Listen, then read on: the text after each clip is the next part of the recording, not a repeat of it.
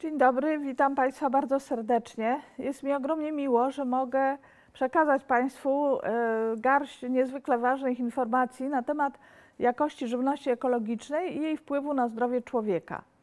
Przedstawię się, nazywam się Ewa Rębiałkowska, jestem profesorem e, w Instytucie Nauk o Żywieniu Człowieka e, w Szkole Głównej Gospodarstwa Wiejskiego i pracuję w Zakładzie Żywności Ekologicznej. A więc od lat zajmujemy się tymi właśnie zagadnieniami, o których dzisiaj będziemy mówić, od wielu lat. Y, przede wszystkim, czym jest żywność ekologiczna?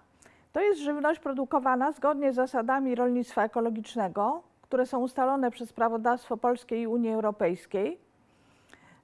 Y, należy podkreślić, że sposób wytwarzania y, żywności ekologicznej, konkretnie płodów rolnych, nie stanowi zagrożenia dla środowiska, a wręcz przeciwnie – Rolnicy ekologiczni podejmują działania na rzecz zwiększenia różnorodności biologicznej, o którą nam wszystkim w dzisiejszych czasach tak bardzo chodzi. Produkcja ekologiczna odbywa się z uwzględnieniem zasad IFOAM-u, to jest taka nadrzędna światowa organizacja e, opiekująca się właśnie wszystkim, co związane z rolnictwem ekologicznym. E, otóż e, zasady te mówią o zdrowiu, ekologii, trosce i uczciwości. I te właśnie zasady są realizowane w rolnictwie ekologicznym. Zapewnia to wysoki poziom etyczny łańcucha produkcji, a także dbałość o zdrowie ekosystemów rolnych, zwierząt i ludzi. Podstawy prawne rolnictwa ekologicznego e, są takie, jak tutaj e, pokazuję, czyli nadal jest to rozporządzenie e, Rady 834 z 2007 roku oraz rozporządzenie Komisji Europejskiej z 889 mm, z 2008 roku. E, kompatybilna ustawa polska z czerwca 2009 roku jest e, całkowicie zgodna z dokumentami powszechnymi dla wszystkich członków Unii Europejskiej. Te dwa rozporządzenia są ważne. Warto zaznaczyć, że do końca roku 2021 natomiast jest postanowione, że z dniem 1 stycznia roku 2022 będą już e, wdrożone e, nowe rozporządzenia, które są opracowane i w tej chwili są e, przygotowywane akty wykonawcze. Będą to niewielkie zmiany, które mają za zadanie usprawnić funkcjonowanie całego systemu.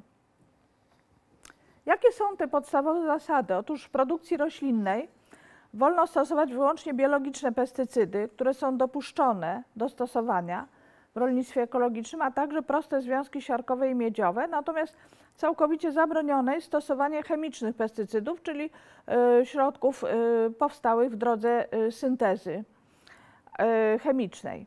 Mm, nie stosuje się organizmów modyfikowanych genetycznie, ani syntetycznych nawozów mineralnych, jedynie naturalne, które występują w przyrodzie, na przykład dolomit, kreda, wapno z glonów są dopuszczalne, a wszelkie syntetyczne związki są tu niedopuszczalne. E, podstawą nawożenia są naturalne nawozy organiczne, komposty, oborniki, a także nawozy zielone. E, produkcja zwierzęca prowadzona jest bez użycia modyfikacji genetycznych, czyli organizmów i ich produktów modyfikowanych genetycznie, a stosowanie antybiotyków jest sporadyczne. Przetwórstwo surowców prowadzone jest metodami chroniącymi wartość odżywczą, przy czym stosuje się wyłącznie naturalne, bezpieczne dodatki do żywności, które są określone w załączniku 8 do rozporządzenia 889, o którym przed chwilą e, wspominałam. Warto podkreślić, czym nie jest żywność ekologiczna, więc nie jest tak zwaną zdrową żywnością. Określenie zdrowa żywność, które niestety funkcjonuje w naszym społeczeństwie, używane jest przez handlowców, przez konsumentów, E, niestety jest nieprawidłowe całkowicie. Nie ma czegoś takiego jak zdrowa żywność, a przynajmniej nie ma czegoś takiego w regulacjach prawnych. Więc e, w zasadzie no, nie wolno tego stosować. Niestety ciągle są złe nawyki w tym zakresie, e, ale powinniśmy używać wyłącznie określenia żywność ekologiczna. Żywność ekologiczna nie jest żywnością specjalnego przeznaczenia żywieniowego, ani też nie jest żywnością dietetyczną. Jest to żywność dla wszystkich, tylko tyle, że płody rolne produkowane są właśnie w określony sposób, y, o którym przed chwilą mówiłam. Może tylko jeszcze dwa słowa, co oznacza kontrola i certyfikacja produkcji ekologicznej. Podkreślić należy, że kontrolowany jest sposób produkcji, a nie jakość końcowego produktu. Czyli to nie jest tak, że my każdą marchewkę, każde ziarno zboża, czy każdą kroplę mleka analizujemy. Tak nie jest i tak zresztą nie jest w żadnym systemie produkcji żywności. To jest niemożliwe. Ale w przypadku produkcji ekologicznej kontroluje się sposób produkcji. Yy, musi to przebiegać zgodnie z zasadami, które są określone w aktach prawnych i są wyszkoleni kontrolerzy, którzy przyjeżdżają do gospodarstwa rolnego lub do zakładu przetwórczego czy handlowego i kontrolują właśnie sposób produkcji, cały łańcuch produkcji. Jeżeli wynik tej kontroli jest pozytywny, to jednostka kontrolna nadaje certyfikat na okres e, jednego roku. Po roku e, cały ten proces jest powtórzony, czyli można powiedzieć, że system e, produkcji ekologicznej jest ściśle i dokładnie kontrolowany. Czym jest produkt ekologiczny? A więc Trzeba powiedzieć, że według rozporządzenia co najmniej 95% masy jego składników musi być, e, muszą to być składniki ekologiczne. Nie bierze się tu pod uwagę dodatków takich jak woda czy sól kuchenna. Ponadto produkcja musi być oddzielona w czasie i przestrzeni od żywności nieekologicznej. Co to oznacza? Że na przykład jeden zakład produkcyjny może produkować e, produkty ekologiczne i produkty nieekologiczne, ale musi to być rozdzielone na przykład w czasie, czyli na przykład myje się wszystkie urządzenia dokładnie, tak często jest w przypadku produkcji mleka, że myje się cały po prostu system produkcyjny, wszystkie urządzenia i dopiero wtedy produkowane są, y, jest linia uruchamiana dla ekologicznych produktów, albo są dwie osobne hale i w jednej prowadzi się produkcję y, właśnie ekologiczną, a w drugiej hali produkcję nieekologiczną. Są stosowane różne systemy, ale musi być wyraźne oddzielenie. E, trzeba powiedzieć, że dodatki, substancje pomocnicze w przetwórstwie muszą być pochodzenia e, właśnie naturalnego i mogą, mogły zostać poddane tylko procesom mechanicznym, fizycznym, biologicznym, enzymatycznym lub mikrobiologicznym, czyli odrzucone jest tutaj postępowanie w drodze procesów właśnie chemicznych. To dotyczy właśnie całego łańcucha produkcji, łącznie z przetwórstwem, czyli mamy tę e, naturalność zapewnioną w ten sposób. E, warto stwierdzić, że certyfikat ekologiczny jest niestety w Polsce ciągle mało znany i mylony z innymi certyfikatami. E, znajomość certyfikatu, bo jeszcze nie powiedziałam, może wrócę na sekundę, chciałam pokazać, tutaj mamy pokazane logo, unijne logo produktu ekologicznego. To jest y, właśnie liść unijny, prawda? Tutaj na górze po lewej stronie, czyli gwiazdki ułożone w liść na, na zielonym tle. I to logo jest obligatoryjne, czyli konieczne dla wszystkich produktów ekologicznych. Należy go szukać na opakowaniach. Jeżeli Państwo pójdziecie do sklepu, to należy szukać właśnie tego liścia na opakowaniu i e, będzie to gwarancja, że ten produkt przeszedł całą e, właśnie kontrolę i certyfikację. E, natomiast znajomość tego certyfikatu w naszym społeczeństwie jest niewielka, niestety. Wśród regularnych nawet konsumentów żywności ekologicznej jest to 45%, czyli około połowa wie o co chodzi i szuka tego liścia, natomiast druga połowa jakby nie, no więc ciągle jest to bardzo takie słabe no a wśród całego społeczeństwa jest to zaledwie jedna trzecia osób wie, czym jest ten liść. A więc przed branżą ekologiczną nadal stoi duże zadanie promocji zielonego liścia i sprawienia, aby większość społeczeństwa rozpoznawała to logo, ponieważ no, jest to szalenie ważne w kontekście dokonywania zakupów produktów ekologicznych. W Polsce tylko 4% Polaków regularnie kupuje i spożywa żywność ekologiczną, a 26% zaopatruje się w nią nieregularnie. Natomiast e, reszta społeczeństwa spożywa tę żywność sporadycznie lub wcale jej nie spożywa. Niestety tutaj no, nie możemy się pochwalić dobrą pozycją na tle innych krajów Unii Europejskiej. Bo jeżeli porównamy sprzedaż brutto ekologicznych produktów rolnych w Polsce to jest zaledwie 7 euro na osobę, po przeliczeniu około 30 zł rocznie to wychodzi, podczas gdy średnio dla Unii Europejskiej jest to 44 euro, dla Niemiec 100 euro, a dla Dań, Duńczyków jest to 200 euro. Inna sprawa, że ceny w Danii są trochę większe niż, niż w innych krajach europejskich, ale tym niemniej mm, y, to jest też odzwierciedlenie jakby promocji żywności ekologicznej w poszczególnych krajach, gdzie jest to bardzo silnie wyrażone właśnie w Danii, gdzie rząd duński od bardzo dawna prowadzi y, takie, zapewnia takie bardzo silne wsparcie dla tego sektora i podobnie jest w Niemczech y, i w innych krajach europejskich. Natomiast no, u nas Niestety nie wygląda to jeszcze dobrze. Mamy tendencję wzrostową, ale na razie jeszcze jesteśmy raczej na szarym końcu właśnie krajów y, członkowskich. E, dlaczego Polacy nie kupują tej żywności lub kupują rzadko? E, no jest y, pierwszą podstawowym czynnikiem jest y, według respondentów za wysoka cena e, lub nie jest to warte swojej ceny. Niewiara w to, że to jest rzeczywiście ekologiczne. Ludzie nie czują potrzeby, nie widzą w sklepie tego, nie, jest to żywność słabo dostępna. Ponadto nie ufają certyfikatom niestety właśnie. Czy sklep z żywnością ekologiczną jest za daleko, to bardzo też częsta odpowiedź, nie wiem gdzie to kupić i nie odróżniam tej żywności od innej. Bardzo nieliczni respondenci mówią, że nie jest smaczna lub zawiedli się na e, jakości smaku, ale to jest bardzo mały odsetek, natomiast tamte czynniki dominują. Także tutaj też e, no, wskazuje to na niestety taką no, nie, mało skuteczną, powiedziałabym, promocję y, tej żywności wśród polskich konsumentów.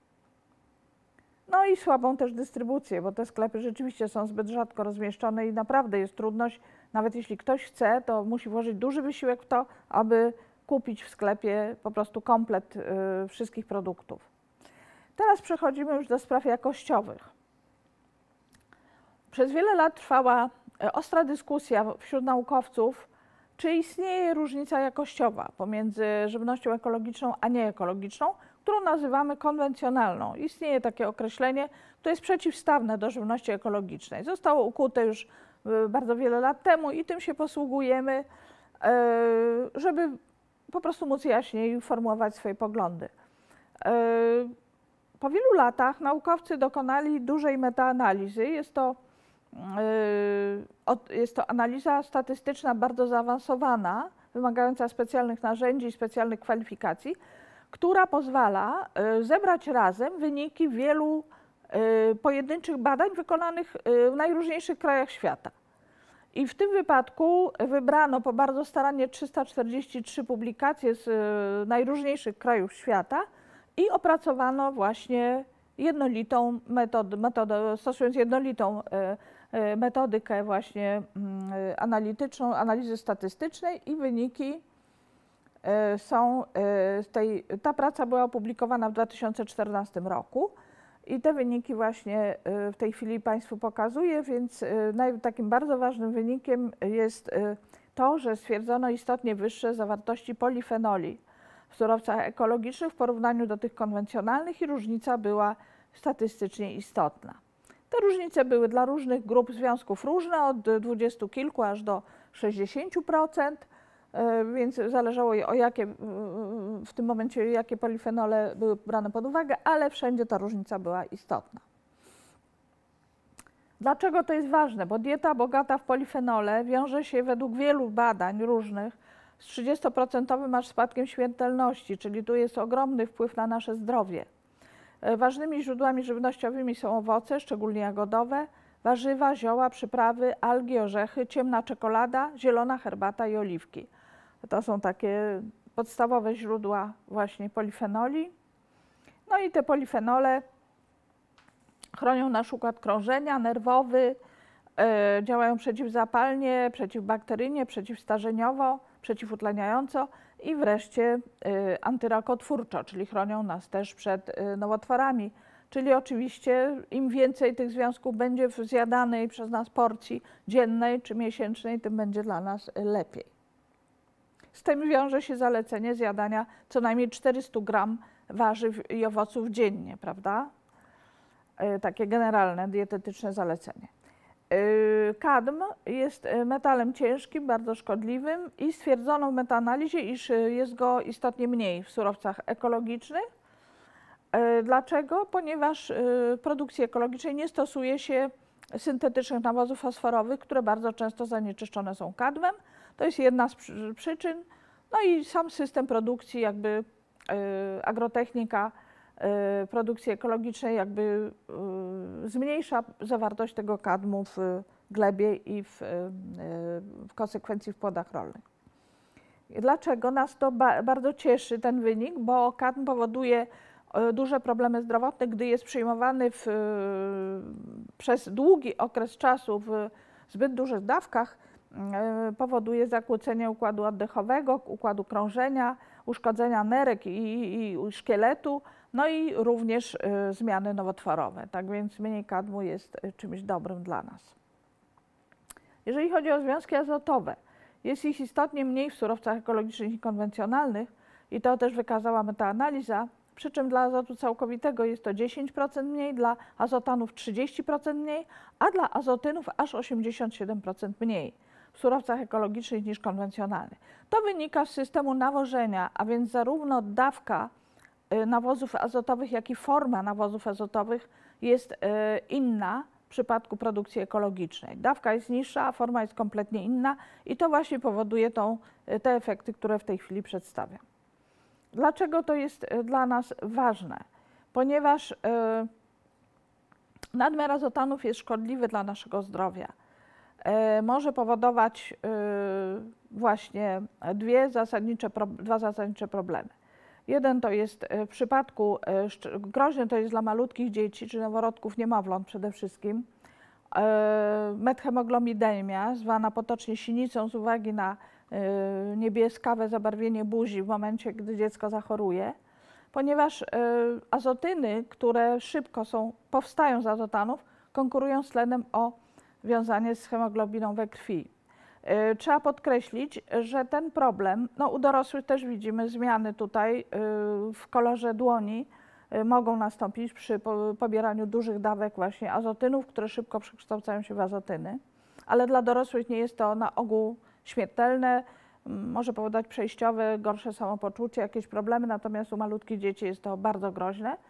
Warto i trzeba podkreślić, że w Unii Europejskiej od bardzo dawna już wprowadzone są bardzo ścisłe reguły, ile może być azotanu w żywności dla małych dzieci. Jest to 200 mg na kilogram i od bardzo dawna właściwie w Unii Europejskiej sinica u niemowląt nie występuje. To trzeba bardzo mocno podkreślić, że ten problem w Unii Europejskiej mamy zwalczony dzięki bardzo restrykcyjnym zasadom odnośnie poziomu azotanu w płodach rolnych dla malutkich dzieci. I to jest bardzo dobrze, natomiast warto też zaznaczyć, że to dotyczy Unii Europejskiej, nie dotyczy całego świata i nie dotyczy y, krajów y, gorzej rozwiniętych.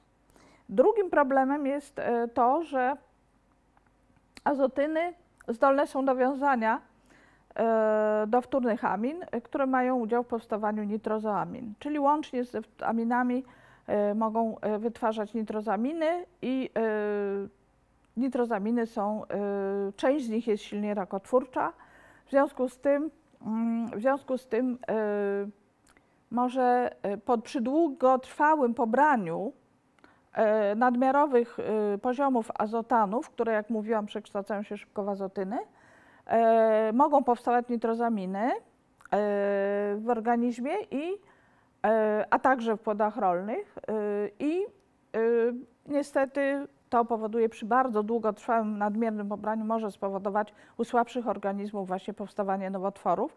Konkretnie są to e, białaczki i nowotwory przewodu pokarmowego. I też y, w tej chwili zasady Unii Europejskiej, jeśli chodzi o te rzeczy, no, są bardzo, y, bardzo restrykcyjne, więc y, problem, poza tym wodę mamy właściwie wszędzie z, wod, z wodociągów i kontrolowaną, praktycznie mówi na przykład o naszym kraju, no to jest y, prawie 100%, więc tutaj zagrożenie znacznie spadło w porównaniu na przykład do lat 70. i 80., gdzie w Polsce był to bardzo duży problem. Więc problem też jest w tej chwili mniejszy i to można powiedzieć dotyczy na pewno całej Unii Europejskiej, ale nie jest zerowy też, więc, yy, więc tutaj musimy bardzo na to wszystko uważać. Przechodzimy do Y, kolejnego wyniku metaanalizy dotyczącego e, pestycydów, tu chodzi o chemiczne pestycydy, syntetyczne. E, Metaanaliza pokazała ogólnie, że w roślinach nieekologicznych występowała czterokrotnie większa częstotliwość pozostałości tychże chemicznych pestycydów. Przy czym największa różnica dotyczyła owoców, bo była to różnica mm, prawie siedmiokrotna przypadku samych owoców, a w przypadku wszystkich badanych płodów rolnych czterokrotna. Więc y, też dyskusja na ten temat, ta metaanaliza w jakiś sposób tę dyskusję y, umieściła na właściwym miejscu, bo wiele osób wątpiło w to, a tutaj wykazane to zostało po prostu już tak y, czarno na białym, to o czym wiedziano niby, ale było to ciągle podawane wątpliwość, no ale tak po prostu jest. Warto podkreślić, że EFSA, czyli mm, Europejska organizacja zajmująca się bezpieczeństwem żywności, publikuje co roku raport, w którym między innymi od paru lat porównywana jest żywność ekologiczna i konwencjonalna. I e, raport z 2018 roku pokazał, że w żywności konwencjonalnej 44,5% wszystkich próbek zawierało pozostałości chemicznych pestycydów, a w przypadku żywności ekologicznej było to 6,5%, czyli 7 e, razy mniej pozostałości tychże pestycydów, czyli tutaj warto zauważyć, że e, gdy obserwujemy wyniki ostatnich lat, że podsumowanie z 2014 roku pokazało 4 razy więcej pozostałości pestycydów w surowcach ekologicznych, Y, konwencjonalnych niż ekologicznych, natomiast w 2018 roku było to 7 razy więcej, czyli problem narasta. Niestety nie maleje ten problem, tylko właśnie odwrotnie on narasta, co może się wiązać z zmianami klimatycznymi, ociepleniem klimatu i koniecznością stosowania większych dawek pestycydów w, w sektorze konwencjonalnym. To jest, może być jedna z możliwych przyczyn takiego stanu rzeczy. Yy, pestycydy generują wiele problemów zdrowotnych. Yy, z takich najlepiej udokumentowanych należy wymienić zakłócenia rozwoju dzieci, wady rozwojowe płodu, spadek odporności na wszelkie choroby, zaburzenia hormonalne i spadek płodności, a także właśnie nowotwory, szczególnie białaczki. Według jednego z najlepszych toksykologów zajmujących się tą tematyką, Filipa Grążana, Y, pokazał ten slajd na posiedzeniu Komisji Europejskiej i nazwał to w ten sposób, że chemiczne pranie mózgu jest problemem zdrowia publicznego w kontekście narażenia na pestycydy w Unii Europejskiej, gdyż mózg nasz jest bardzo skomplikowany, ale ceną, jaką płacimy, za to płacimy, jest podatność na uszkodzenia. Jest to delikatny organ i szczególnie podatny na uszkodzenia jest w okresie wczesnego rozwoju a te uszkodzenia są najprawdopodobniej trwałe. E, przykładem właśnie takim e, badań, które to potwierdzają, jest to badanie, e, w którym widzimy e, rysunki małych dzieci 4 i 5-letnich i po lewej stronie, na górze i na dole mamy rysunki prawidłowe, to jest e, dzieci proszone było, żeby o narysowanie ludzika i narysowały tego ludzika tak, jak to dzieci normalnie robią w tym wieku. Natomiast po prawej, na górze i na dole mamy rysunki dzieci w tym samym wieku, które nie potrafiły ludzika narysować. E, te dzieci, obie grupy dzieci mieszkały w Meksyku i nawet bardzo blisko siebie. Tylko, że dzieci, które dobrze rysowały ludzika, mieszkały y, na terenie nieskażonym, czy no bardzo mało skażonym mm, pestycydami, natomiast te dzieci, które nie potrafiły narysować ludzika, mieszkały y, na terenie y, mocno skażonym pestycydami. Czyli tutaj mm, w tej pracy toksykolodzy chcą podkreślić negatywny wpływ pobierania nadmiarowego pestycydów przez małe dzieci na ich rozwój psychomotoryczny i intelektualny. Y, tutaj widzimy stwierdzenie y, też y, profesora Grążana, że dzieci z prenatalnym narażeniem na pestycydy mają trudności z koordynacją funkcji motorycznych, które bada się tak zwanym testem palcowym. czyli no, słabą koordynację wykazują i to właśnie może tłumaczyć problemy z rysowaniem. Bo jeżeli dziecko ma tego typu problemy, to nie jest w stanie prawidłowo rysować, prawda? Czyli tutaj y, mamy dowody na to w wielu badaniach. Jeżeli chodzi o y,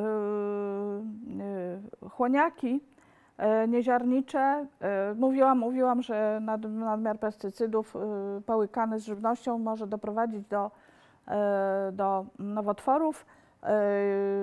Udokumentowany jest związek w przypadku chłoniaka nieziarniczego. To jest bardzo groźny nowotwór układu limfatycznego i y, który w ostatniej fazie choroby wygląda tak jak tutaj na, na zdjęciu po prawej stronie, gdyż gruczoły limfatyczne są mocno powiększone. I z metaanalizy opublikowanej w 2014 roku wynika, że y, występuje silna korelacja pomiędzy występowaniem właśnie tego typu chłoniaka nieziarniczego, a narażeniem na chemiczne pestycydy, które tutaj właśnie są y, wymienione, które to są pestycydy, prawda, czyli fenoksylowe herbicydy, insektycydy, karbaminianowe, lindan i aktywne składniki fosforoorganiczne oraz insektycydy chloroorganiczne, które niestety ciągle w różnych krajach są w użyciu. Dotyczy to, znaczy narażenie przede wszystkim jest największe dla pracowników, dla ludzi pracujących w gospodarstwach rolnych, gdzie bez przerwy w momencie, gdy stosują te środki, są na nie bezpośrednio narażeni i dla środowiska mieszkającego właśnie w tych regionach ale dla wszystkich konsumentów, którzy zjadają tego typu żywność, później te płody rolne narażenie też jest, też jest duże. Także ta praca to udowodniła. I kolejnym takim, kolejną kwestią bardzo ważną jest kwestia antybiotyków. Postaram się to bardzo prosto wytłumaczyć. Może zacznę jeszcze od tego, że w produkcji zwierzęcej, właśnie ekologicznej, y, można stosować antybiotyki, owszem, ale jest to obwarowane y, różnymi y, specjalnymi prawda, regulacjami. Można zastosować je tylko wtedy, gdy jest bezpośrednie narażenie życia zwierzęcia lub grupy zwierząt. Należy te zwierzęta odizolować i karencja, czyli okres, kiedy nie wolno sprzedawać y, produktów pochodzących od takich zwierząt jest dwukrotnie większa niż w sektorze produkcji konwencjonalnej. Ponadto musi koniecznie być lekarz weterynarii, który jakby wystawi zaświadczenie, że było konieczne zastosowanie antybiotyku. Y, w konsekwencji producenci ekologiczni bardzo rzadko stosują antybiotyki, gdyż przekłada się to na duże problemy, no z zasady samej oczywiście, ale dodatkowo mają duże problemy natury ekonomicznej również, prawda? Ponieważ po prostu no, jest to dla nich bardzo niekorzystne, bo później długo nie mogą sprzedać czy to mleka, czy mięsa, czy jaj. W związku z tym tylko sporadycznie stosują, gdy naprawdę już nie ma innego wyjścia. Natomiast w e, chowie konwencjonalnym zwierząt e, dość powszechnie stosuje się właśnie antybiotyki. Wynika to z tego, że Y, chów zwierząt konwencjonalnych generuje stres dla zwierząt, gdyż przestrzeń na jedno zwierzę jest bardzo ograniczona. Pasza jest oczywiście schemizowana. To generuje duży stres, w związku z tym te zwierzęta są też bardziej podatne na zachorowania i na przenoszenie choroby się łatwiej przenoszą w takich stadach, które są ściśnięte. W związku z tym y, zwierzęta te no, są dość często traktowane właśnie y, antybiotykami, zarówno w przypadku zachorowań, jak też i profilaktycznie, niestety, żeby zapobiec ewentualnym problemom. Y, I konsekwencje tego, i to jest potwierdzone przez bardzo wiele badań, a także przez y, raport, który y, był zlecony na, przez Komisję Europejską i zostało takie opracowanie przygotowane które właśnie e, mówi o tym, o czym w tej chwili Państwu mówię. Czyli mm, konsekwencja jest taka, że przy częstym stosowaniu antybiotyków e, wzrasta zarówno u zwierząt, jak i w środowisku otaczającym te zwierzęta e, ilość opornych bakterii, które są oporne na ten antybiotyk. One się po prostu przyzwyczajają do tych antybiotyków Przenosi się to również na ludzi, to też jest udowodnione w wielu badaniach i to generuje trudności w leczeniu właśnie infekcji y, bakteryjnych później. Czyli w momencie, gdy człowiek trafia do szpitala z zapaleniem płuc, przykładowo bakteryjnym, lekarze próbują dobrać antybiotyk, no i zdarza się, że nie, jest, nie są w stanie dobrać, bo bakterie po prostu nie reagują na żaden antybiotyk. To samo dotyczy y, gronkowca złocistego, który, który jest powszechnym takim szpitalnym zakażeniem i też właśnie problemy ze zwalczaniem gronkowca y, wynikają z tego, często z tego, o czym tutaj właśnie mówię. Czyli to jest duży taki problem. Y, jeżeli chodzi o skład, o, o pozytywne z kolei składniki żywności ekologicznej, to metaanaliza opublikowana w 2016 roku wykazała, też na dużym materiale, wykazała, że w mleku ekologicznym y, mamy około 50% więcej kwasów omega-3, które są dla nas bardzo korzystne i powinniśmy je w dużych ilościach właśnie spożywać. Czyli generuje to korzyści dla konsumenta, bo przejście na mleko ekologiczne, oczywiście to samo dotyczy serów, jogurtu, czyli wszystkich produktów, zwiększa spożycie tłuszczów właśnie tych nienasyconych omega-3, a jednocześnie nie zwiększamy spożycia kalorii i niepożądanych tłuszczów nasyconych. Czyli to jest y, no, bardzo godne y, polecenia, aby y, spożywać te produkty z produkcji ekologicznej. I teraz, skoro mamy obraz taki, o jakim cały czas tutaj mówię, tutaj jest takie podsumowanie tych cech żywności ekologicznej, które są z założenia jakby korzystne dla konsumenta. Dodatkowo Y, należy powiedzieć, że y, badania, których nie z braku czasu Państwu tu nie mogę pokazać, na małych zwierzętach, na myszach, szczurach, y, kurczakach, pokazują korzystny wpływ, królikach, korzystny wpływ na płodność i odporność zwierząt w momencie, gdy dostają paszę ekologiczną. Tych badań jest już też dość sporo i możemy na nich się wielu rzeczy nauczyć i wiele rzeczy nas powinno zainspirować.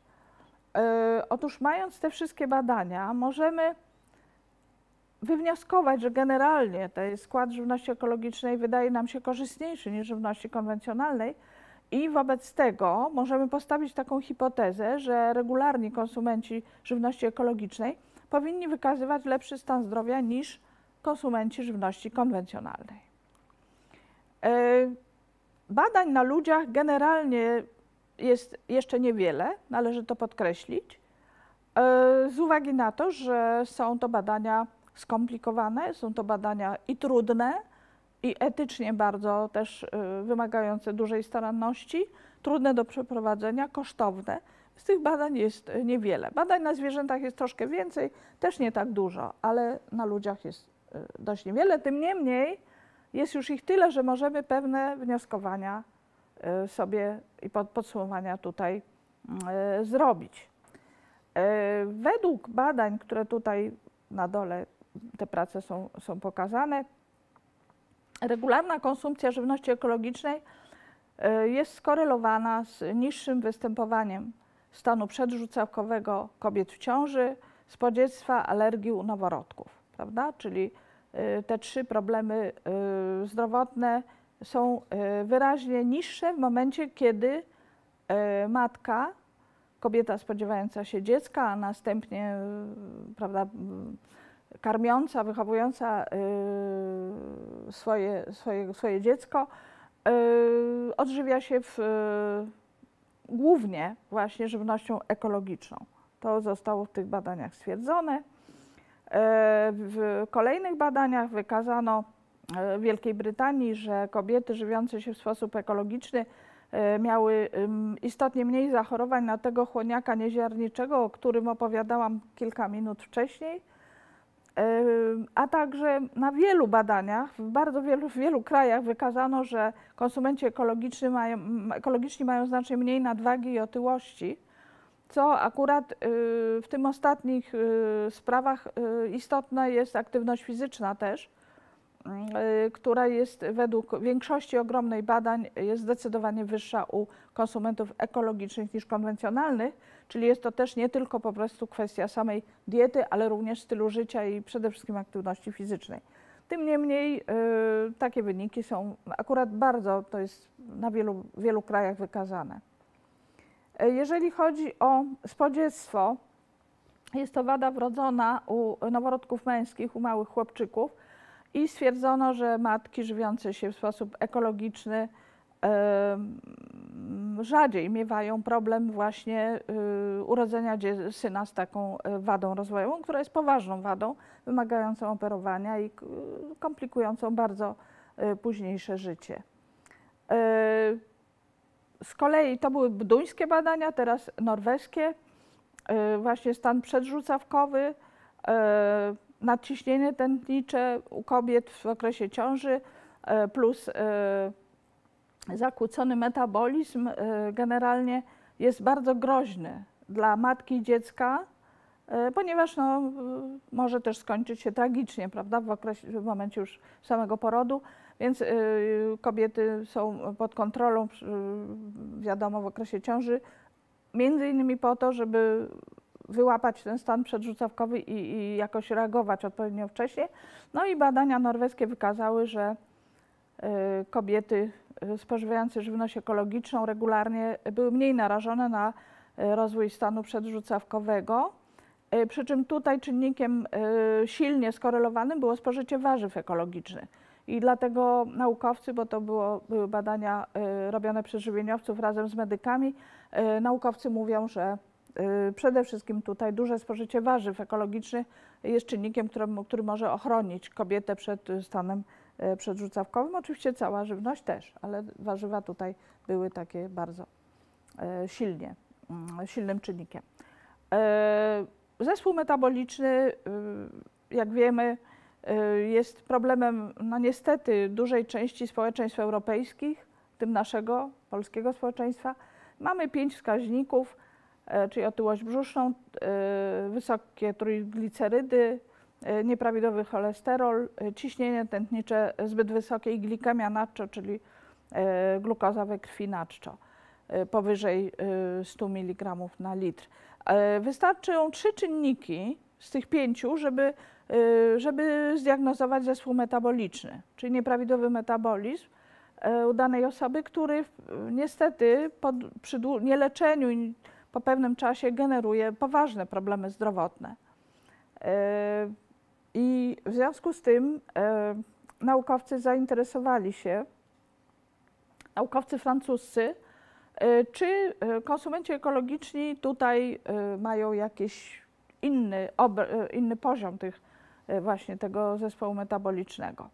No i okazało się, iż wyższe spożycie żywności ekologicznej było negatywnie związane z występowaniem tego zespołu metabolicznego, przy czym była to wysoce, e, zależność wysoce istotna statystycznie, e, czyli po prostu zwyczajnym językiem mówiąc mieli znacznie mniej problemów z tym, z tymże zespołem metabolicznym.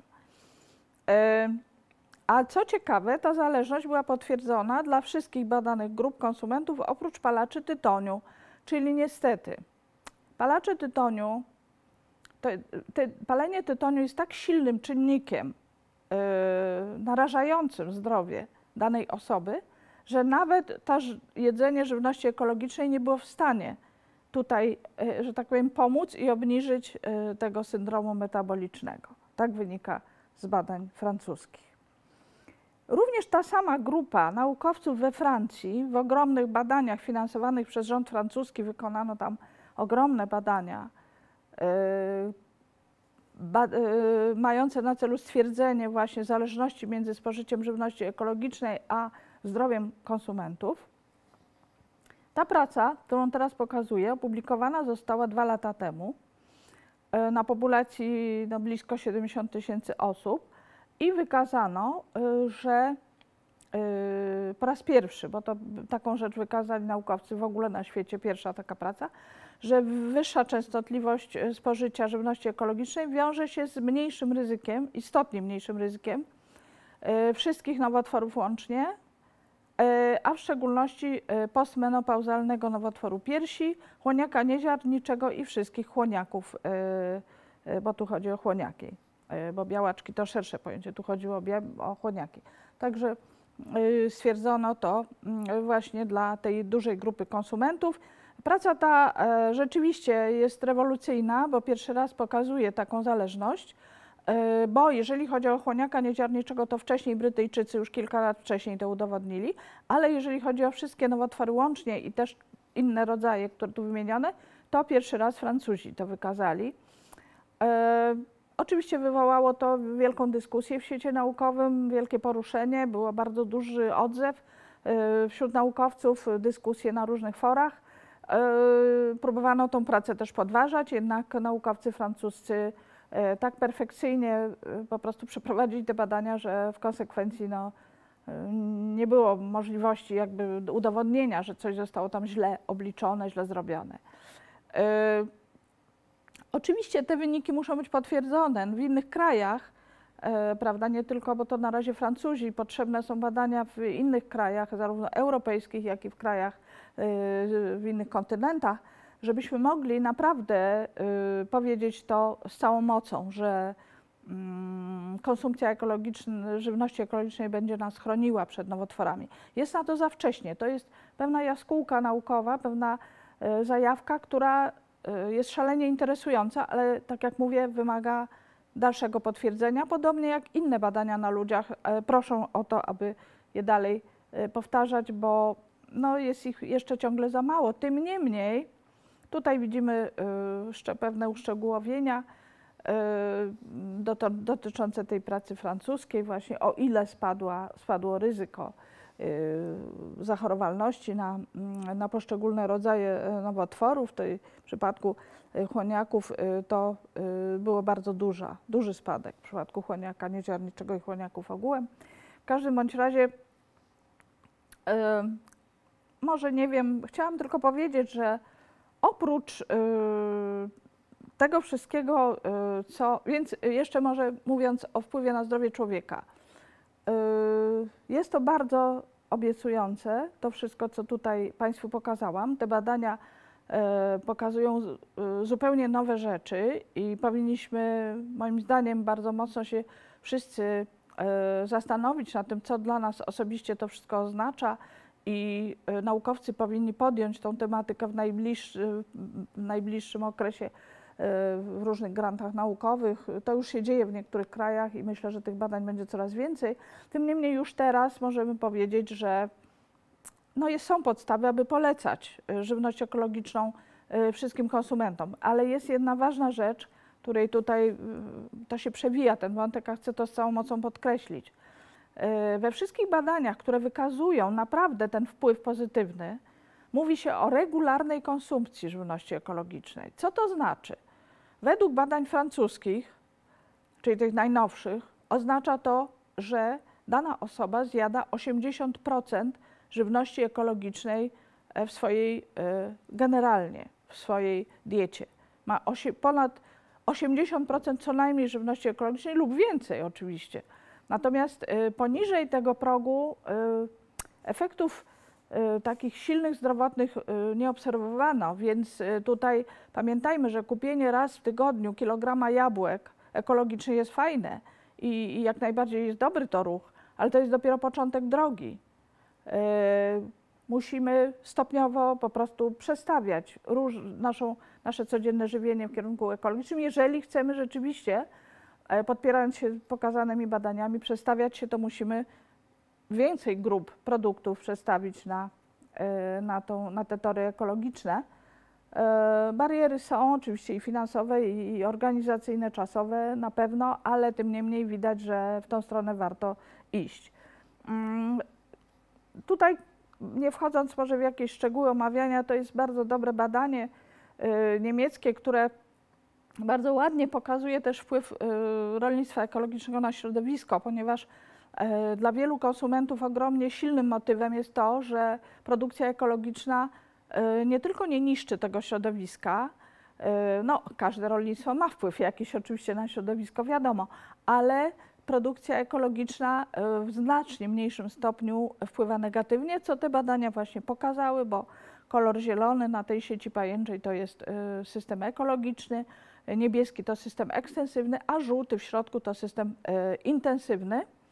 E, No i widzimy tutaj, że im bliżej y, jakby brzegu sieci pajęczej, tym lepsze wskaźniki. No i widzimy, że w przypadku produkcji ekologicznej rzeczywiście te wskaźniki są najlepsze, a najgorsze dla systemu intensywnej produkcji rolnej.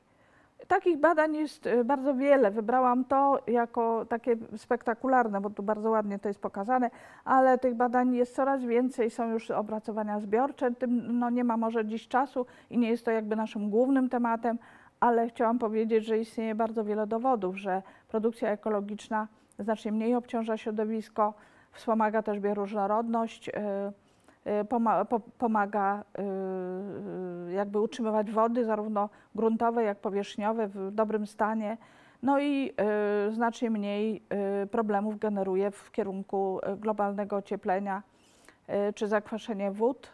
Y, Także tutaj mm, jest bardzo wiele takich plusów y, środowiskowych, y, które też powinny dla nas wszystkich być istotne w kontekście tego, co się dzieje na planecie i y, zmiany klimatu, y, ocieplenia y, klimatu, które no, generuje niestety wiele problemów też i dla rolnictwa, i dla produkcji żywności, no ale dla nas wszystkich, a na to na razie nie znaleziono żadnego lekarstwa.